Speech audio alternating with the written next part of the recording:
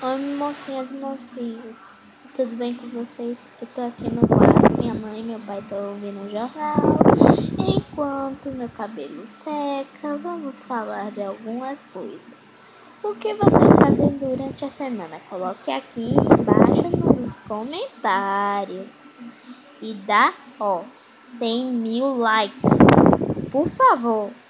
Até mais. Era só isso. Adeus.